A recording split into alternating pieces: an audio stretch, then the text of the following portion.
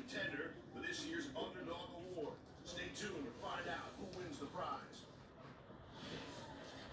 Taylor, look at this. Fluff Cheer